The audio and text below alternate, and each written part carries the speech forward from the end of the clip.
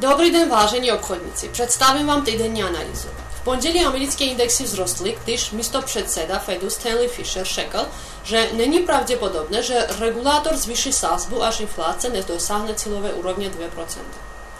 Tento ukazatel byl eh, v posledních měsících blízky nule a nedosahoval 2% od dubna roku 2012. Dolarový index ICA, index americké měny, vůdci koši šesti hlavních měnových párů, ztratil 0,4%. SP 500 vzrostl 1,3%, byl zaznamenán růst ve všech jeho deseti sektorech. Švédsko se dohodla se Eurokomisí, ECB a Mezinárodním měnovým fondem ohledně poskytnutí stability tranše prostřednictvím evropského mechanisma ve výši 86 miliard eur. Euro posílilo. Stok 600 vzrostl 0,7%. Úterý evropské indexy klesly, jelikož investoři se domnívali, že devalvace juanu sníží příjmy vývozců v eurozóně, druhá největší ekonomika na světě. Německý DAX 30 klesl o 2,7% na základě poklesu akcí vývozců.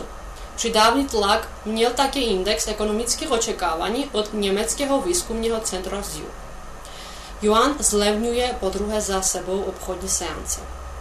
Dneska Čínská banka určila nový směnný kurz národní měny, který byl nižší než zavěšací cena na trhu v úterý.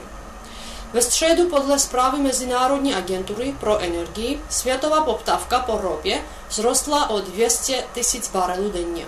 Toto podpořilo kotáce ropy, které nadále rostou. Futures na zlato prudce zdražili. Vzhledem k poklesu na akciových trzích a poklesu kurzu dolaru drahý kov zlevnil pro Futures na obily wykazali wyraźny pokles. Przyczyna tomu odhad skliznie, skliznie od Ministerstwa Земледелства USA, który był lepszy niż się oczekiwało. We czwartek kotace kawy z istotą rostou. Zasoby w Brazylii klesli na najniższy urowień od roku 1999.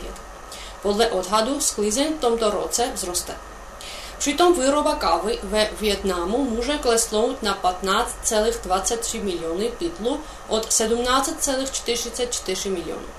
V pátek pokračovala silná poptávka po drahých kovech. Akce čínské banky způsobily zvýšení přitažlivosti bezpečných aktiv. Zlato zdražilo o 1,89%, stříbro, stříbro vzrostl 2,91%. Tento týden doporučujeme věnovat pozornost publikaci stavebních povolení v USA ve středu a žádostem o nezaměstnanosti ve čtvrtek. Tyto dva indikátory umožní vyjasnit neurčitost, která byla vytvořena vůči dalšímu kurzu Fedu USA a dalšímu posilování dolaru. Děkujeme vám za vaši pozornost a přejeme vám úspěšné obchody v naší společnosti.